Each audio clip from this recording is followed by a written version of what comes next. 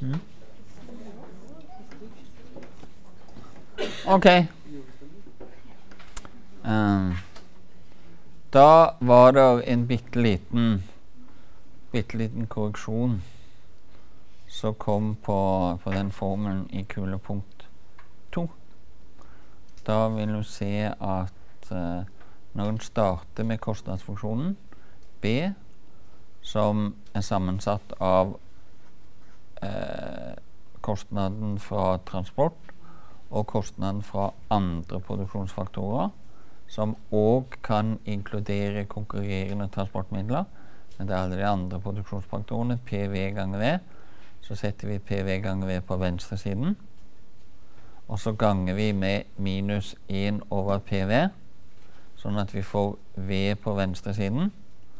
Og på høyresiden da så skal det ikke stå pluss X over PV, men det skal selvfølgelig stå pluss B over PV. Mm. Så da mm. er det selvfølgelig en skrivefeil. Da går vi tilbake der hvor vi var. Da Har vi vært igjennom den teoretiske eksersisen igjen. Og denne gang så er skift i etterspørselskurven det er når ordremengden øker, så X øker, volumene som skal transporteres, da øker også etterspørselen etter G. Når det skjer noe med nye bedriftsetableringer, så får du inn flere aktører. Da øker også etterspørselen, og du får et skift i etterspørselen utover.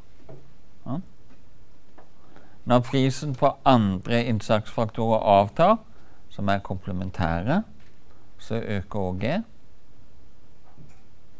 Når prisen på substituttet øker, så øker G hvis det f.eks. blir dyrere å transportere med båt. Så øker da G, som er godstransport med bil.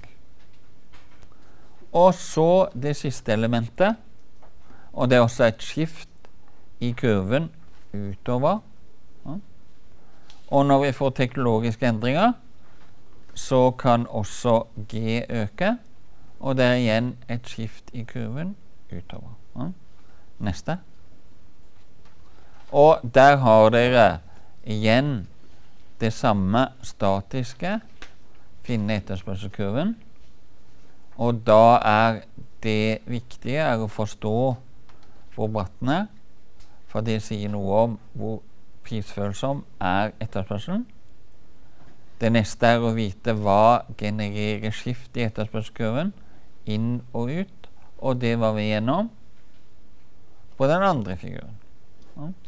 Skift inn og ut i kurven. Dette er det vi kommer tilbake til når vi skal regne på eksamensoppgaver. For da er det den typen skift som er noe av teknikken. Da er det endringer i markedet. Altså vi skal forstå transportmarkedet. Nå er det godsmarkedet. Og da skal vi forstå prisfølsomhet, konkurrerende transportmidler. Konkurranseflaten til konkurrerende transportmidler det er på en måte å nærme seg elastisiteten, konkurranseflaten. Jo sterkere konkurranseflate det er, jo slakere er etterspørselskurven. Og jo lettere mister du kunder når du setter opp prisen. Ja. Og skiftene utover det er da å forstå dynamikken i markedene, hvor teknikken vår er å se det gjennom skift i etterspørselskurven. Det er den enkle teoretiske tilnærming til et godstransportmarked, hvor du igjen er på let etter etterspørselskurven. Og bare påminnelsen Det vi er opptatt av, det er alltid endringer. Ikke det statiske bildet. Endringer.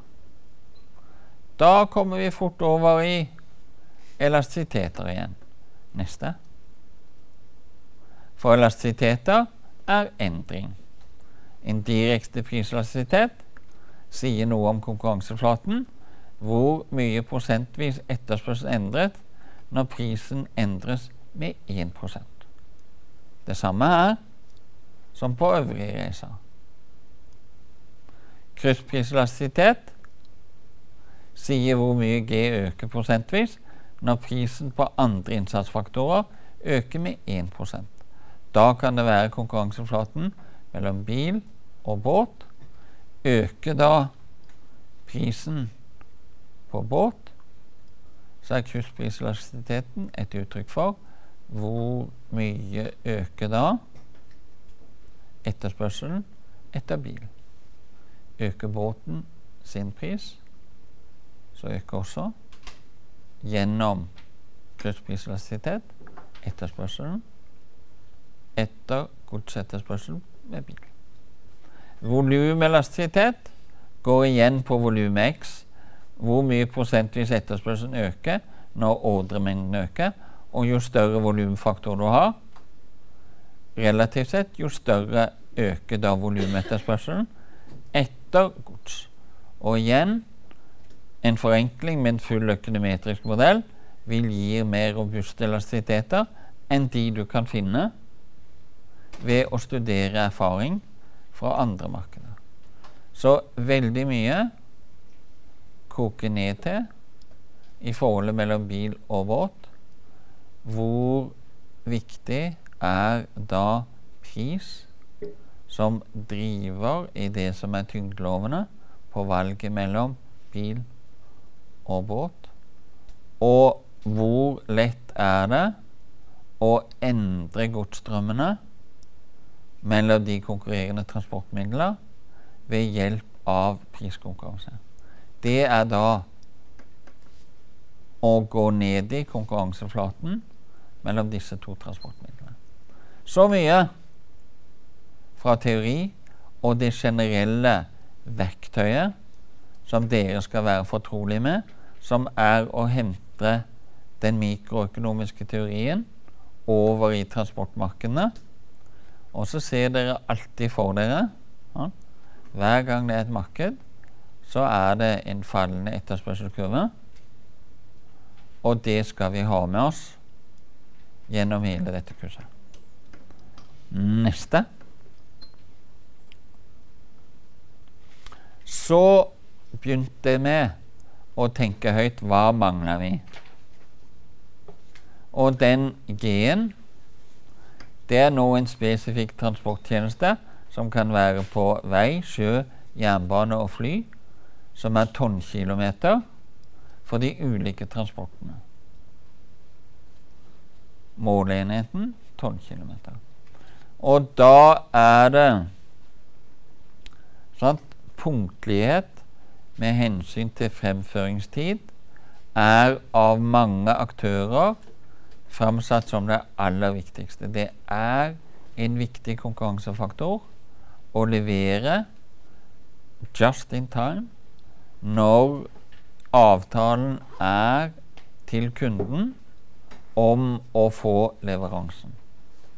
Så punktlighet inngår som en viktig konkurransefaktor utover de tunge driverne sant, som er disse økonomiske faktorene.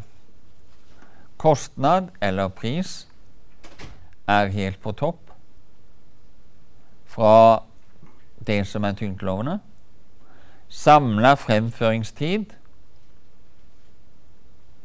fra til er en viktig faktor. Frekvens fremstår akkurat sånn som for kollektivtransport. Så fremstår det som for godstransport som en av de viktige faktorene. Og der kommer dere tilbake til det seinere, hvor ulempen for sjø i konkurranse med bil er mest av alt synliggjort på frekvens. Mens en båt lett har et volum som består så høyt at en havn har en avgang Hvis det er en liten havn, så kan det være én avgang i uka. Mens når du konkurrerer med bil, så er frekvensen mye høyere. Du kan bestille en bil, fylle opp og reise fra og til. Så planleggingstiden i forhold til godstransport med sjø er en av ulempene, for du må planlegge tiden fra til, inkludert lavere frekvens. Og derved er fortrinnet til bil på frekvens en av de viktigste faktorene.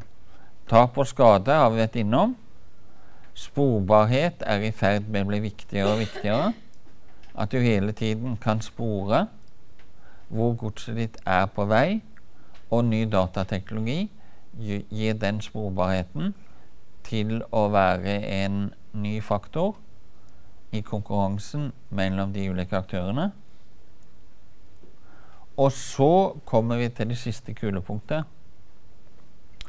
Det som karakteriserer veldig mye godsmarkedet, det er det vi kommer tilbake til. At her er det mange kvalitetsfaktorer ved siden av pris og priskonkurransen. Så er det mange kvalitetsfaktorer som betyr noe. I det som er tilnærma et frikonkurransemarked. Her konkurrerer du så filene fyker om, om kundenes gunst. Med mange godstransportører, både fra bil og båt. Og igjen anbudskonkurranse fremstår som en viktig konkurranseform, som vi kommer tilbake til. Så det er litt oppsummert noe av de viktigste faktorene i godstransportmarkedet med byggeklossen etterspørselsfunksjonen i bunn, og tid inn også i denne etterspørselsfunksjonen, i tillegg til en hel rekke andre kvalitetsparametere som er viktige for vareeierne i valget ved siden av de økonomiske tyngdelovene. Ja? Da går vi til neste. Da har vi kommet dit hen i dag at jeg har kommet frem til den oppgaven dere har med dere. Hvor dere skal være inne i et eh, i en liten analyse på eh, bussmarked, kollektivtransportmarked, som er en etterspørselsfunksjon. Og det store temaet er da det siste spørsmålet. Drøft hvordan prisene kan brukes i kollektivtransportmarkedet som virkemiddel for å øke bruken. Da skal dere utvikle en liten prisstrategi, lese litteraturen,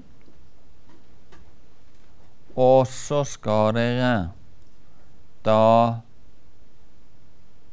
jobbe frem til neste mandag. Vi møtes nå førstkommende mandag klokka to. Og neste mandag klokka to, altså ikke denne, men neste, klokka to, så lager vi gruppevis gjennomgang hvor alle gruppene skal ha et lite referat fra sitt svar på denne oppgaven, som skal innleveres fra hver gruppe. Og så skal vi bruke den mandagen til at alle gruppene får anledning til å presentere sitt svar på sin oppgave. Alle har samme oppgave. Er det greit? Og da står ikke litteraturen henvist til her, men alle har notert Den dere skal lese, ligger to steder. www kollektivtransport. Ikke sant? Og så ligger han også på www.veivesen.no. www.vegvesen.no. Den ligger også inne på Vegvesenet, for det er de som har ansvaret for å oppdatere den. For denne blekka her, den oppdateres hele tiden. Sånn at den som ble lagt ut første gang i 2008, den har vært oppdatert jevnt og trutt med nyere data og ny informasjon. Og da ligger den ute på nettet. Og dere fokuserer da spesielt det som var kapittel 7 om priselastisitet for buss. OK? Da er det neste, som er tom. Og da har jeg tenkt å tjuvstarte på det som var transparenten til neste gang. Ingenting er så bra som at vi var litt raskere. Ja? Men dere får trekke pusten, for temaene henger godt sammen. Og da fikk dere den dosen at dere fikk en enkel etterspørselsmodell på elastisitetsform. Og det var den enkle på endringsform med bruk av elastisiteter. Nå skal vi inn og lage oss en liten økonometrisk etterspørselsmodell. Og det caset dere skal få en demo på neste gang, er med data fra flymarkedet. Men la oss nå gå gjennom alle de trinnene som er med når vi lager en økonometrisk etterspørselsmodell, som er å lage en prognose. Ja.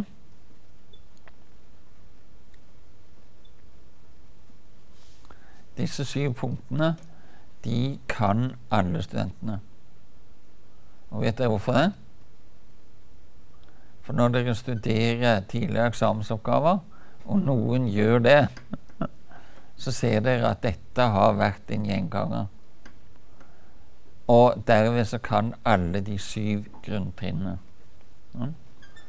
Og da begynner vi med de syv grunntrinnene når vi skal lage en økonometrisk etterspørselsmodell hvor vi skal gå all the way through og ende opp med at vi estimerer og finner elastisitetene basert på data fra virkelighetens verden.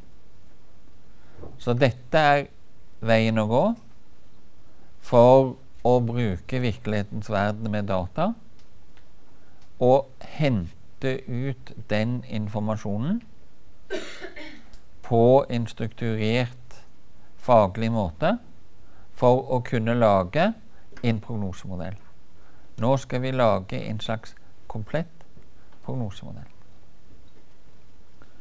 Da er trinn 1. Da begynner vi med etterspørselsfunksjonen, skjelettet i modellen. Og i enhver økonometrisk modell så skal selve modellen forankres i teorien, som er årsaks-virkningskjeden, som er henta fra den mikroøkonomiske analysen. Etterspørselsfunksjonen x eller t er en funksjon av alle de relevante variablene. Ingen glemmer det som trinn 1 trinn 2. Da har du en generell funksjon. Vi lærer oss til, når vi gjør økonometri, å gå fra en generell til en spesifisering av etterspørselsfunksjonen. Den er da i vår verden enten lineær, som er den enkle lineære funksjonen, Eller så er han logglinjær, og da er han også en vanlig lineær funksjon, men da er han lineær i logaritmen. Da ser han annerledes ut. Og da kan dere med en gang merke dere at når vi har en lineær funksjon, så er vi på de deriverte. En endring i pris endrer da etterspørselen med én en enhet. Når vi er på logglinje, så er det den enkle tilnærmingen. Istedenfor da på den lineære at vi har logaritmen av venstresidevariabelen og logaritmen av hver av forklaringsvariabelen på høyre siden av ligningen på logaritmeform, da er det faktisk endringsformen du estimerer. Da får vi den over på elastisitetsform. Så da er det prosentvis endring i produksjonsfaktoren som påvirker etterspørselen målt i prosent. Så gå fra lineær det er å gå fra endring i nivå til logglinær endring i prosentenheter. Ja? Fikk dere det? Og vi opererer i dette trinn 2 med funksjoner som er spesifisert.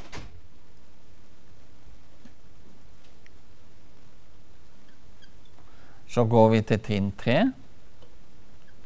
Da skal vi velge alle relevante forklaringsmodellfaktorer som skal være med i modellen. Da er det for den gode transportøkonomen å brette ut alle de faktorene som skal være med i analysen. Priser og konkurrerende priser, tid og kvalitet, regularitet. Og da er det å være den gode transportøkonomen spesifisere alle de relevante forklaringsfaktorene. Da er vi på trinn fire. Da etablerer vi data. Det er å ta alle variablene, etablere data over tid, som heter tidsseriedata. Eller vi kan også etablere data over tverrsnitt, som er mellom individer. Så vi har tidsserie og tverrsnittsdata. Da beskriver vi virkelighetens verden med alle de variablene som vi har funnet er relevante. Så henter vi data fra forhistorien enten gjennom tidsserier, enten ved observasjoner eller av og til ved å gjøre intervjuer. Dette er også gangen i en dypere, mer fullstendig markedsanalyse.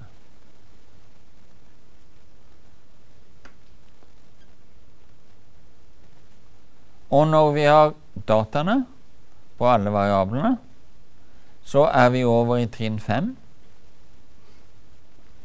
Da skal vi estimere parametrene i modellen vår ved hjelp av en metode som heter minste kvadraters metode. Det er en statistisk metode som da sørger for at når vi har spesifisert en modell, når vi har data, så får vi da trukket dataene inn i denne modellen som gjør at vi estimerer de parametrene i modellen som passer aller beste i virkelighetens verden. Og den teknikken vi da bruker, er minste kvadratas metode. Eller en regresjonsanalyse. Det ligger inne i alle enkle statistikkprogrammer kapittel to i den engelske læreboken er da det kapitlet som er dosert litt over neste gang. Det er passe heavy å lese, men uh, dere har lov å begynne. Jeg doserer litt over det neste gang. Det er da punkt fem. Punkt seks, det er hvor mye kan vi stole på den modellen vi har laget? Hvor god er modellen vår basert på de dataene som eksisterer? Og da er det statistiske teknikker til å estimere, finne, hvor robust metode du har når du skal lage en prognose. Det gjør vi òg ofte med øvre og nedre tak på variablene. Så da skal dere være fortrolig med hva begrepet konfidensintervall betyr. Har dere hørt det før? Har dere hørt politikerne si at det er en signifikant sammenheng? Og når de bruker begrepet signifikant sammenheng, da implisitt så later en som om en skjønner hva et konfidensintervall betyr. Og dere skal vite hva signifikant forskjellig fra null betyr. Det er å være fortrolig med konfidensintervall som statistisk teknikk for å vurdere hvor god prognosemodellen din er. Kan sjefen din tro på den prognosen du har laget, så kan du gå inn og fortelle at denne her har så gode statistiske egenskaper at øvre og nedre tak innenfor konfidensintervall 95 som med 95 sannsynlighet dekker korrekt verdi, øvre og nedre, da kan du være nokså sikker på at prognosen vår rommer det vi kan forvente, blir realiteten. Det er også en form for sensitivitetsanalyse i prognosen. Så kommer da punkt syv. Dette er da en litt mer avansert måte å lage en prognose på, hvor du da beregner trafikk og inntekt i sammenheng til de ulike tiltakene. Så skal du lage en trafikkprognose, en prognose og inntekt. Skal du være passe ambisiøs på at det skal gjøres ordentlig, så går du hele veien gjennom en økonometrisk etterspørselsmodell. De mest avanserte markedsføringsanalytikerne vil sitte med den typen modeller på løpende bånd som de bruker basert på data fra markedet for å estimere grunnleggende sammenhenger i markedene hva gjelder å forstå hvordan markedet virker. Vi skal lære oss den teknikken i det enkle. Neste. Den teoretiske etterspørselen, den har vi lært. Og den har vi lært ikke sant, som en etterspørselsfunksjon i pris og inntekt. Så har vi utvideren til å ta med kvalitetsparametrene tid, frekvens og ofte tilbudt setekilometer hvis dette er en etterspørselsfunksjon for kollektivtransport. Da er vi nede i kulepunkt 4. Da har du utvida etterspørselsfunksjonen din til å ha med prisene, inntekten, tid og frekvens eller kapasitet. Og hvorfor er vi opptatt av dette?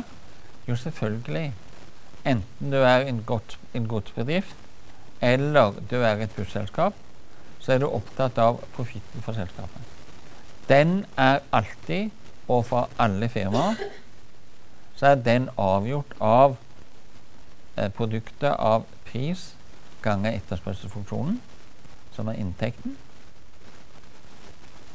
Og da vil dere se at hvis PT øker, ja, så øker inntekten gjennom det første leddet. Men så avtar inntekten ved at etterspørselen går ned gjennom det andre leddet. Så i enhver sammenheng så må du da holde styr på profitten for selskapet. Og markedet ditt, det er det som handler om inntektssiden. Så er det neste leddet minus enhetskostnadene C.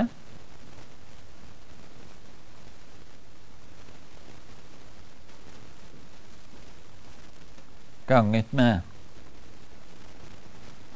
utkjørt. Hvor langt du kjører bussene dine, som er K. Og da vil jeg merke at den K-en, som er frekvens, tilbudt sett kilometer, den inngår både i etterspørselsfunksjonene og på kostnadssiden. Derved så trenger vi å vite hvordan den påvirker inntekten når K endres. Og så vet du at når K endres, så påvirkes de variable enhetskostnadene. Og F, som er det siste leddet, er de faste kostnadene. Så den teoretiske etterspørselsmodellen, det er på en måte den stolpen, det vi holder styr på, fra teorien. Og da vet vi òg fra teorien at etterspørselsfunksjonen inngår i profittfunksjonen som en helt sentral del av det å maksimere profitten. Neste. Der har vi da valg av funksjonsform. Mm. Da lærte vi at den enkleste prognosemodellen det var å ta funksjonen, totalelastisitere, og da får du delta dt på dt på venstresiden er lik det første leddet, priselastisiteten, gange delta pt delt på pt, som er priseffekten. Den direkte priseffekten. Ledd nummer to pluss elastisiteten av eh, px, som er krysspriselatisiteten, gange delta px på px, pluss og så tar du elastisiteten av det tredje leddet, som da er inntektselastisiteten, ganger delta y på y, pluss ET, som er tidselastisiteten, ganger delta t delt på t, pluss EK, som er frekvenselastisiteten, ganger delta k på k, som er endring i frekvens. Sånn, dette er sant, etterspørselsfunksjonen på endringsform. Da er den lineær også her. Når vi skal lage en funksjon, så må vi da forutsette den enten som lineær, og det er da kulepunkt 3. 1, 2, 3. Det er den lineære, som er etterspørsel dt er en fast beta 1 pluss helningen helningen på etterspørselskurven beta 2 ganger prisen P2 pluss beta 3 ganger Y. Da har du den på lineær form. På loglinær så er det lett, for da tar du bare den naturlige logaritmen av dt. Det er da lik på lineær form det faste leddet beta 1 pluss beta 2 ganger logaritmen av P2 pluss beta 3 ganger logaritmen av Y. Da har vi en funksjonsform på log-lineær form. Og det eneste vi da har gjort, det er å ta tallene Istedenfor absolutte tall så har vi de lineært på logaritmeform. Og da er i den 1, 2, 3 kulepunkt 4 Da er beta 2 vil være det samme som prislastigheten Beta 3 vil være det samme som inntektslastigheten Så når det er på lineær form i logaritmene, så har vi transformert parametrene sånn at vi får de på elastisitetsform. Og så fins det mange andre funksjonsformer. Ikke sant? Det går an å lage dette med f.eks. en funksjon som heter logit-funksjonen. Det skal jeg ikke komme inn på, og det skal dere slippe å bry hodene deres med. Men det ligger også inne i regnemodeller at du kan gjøre det med mange andre funksjonsformer. Men de som ligger inne alltid, og er de aller enkleste å bruke først, det er på trinn to velge funksjonsform, linær eller lukklinje. Dere skal være fortrolig med begge, linær eller lukklinje. Da er vi på den aller siste for i dag.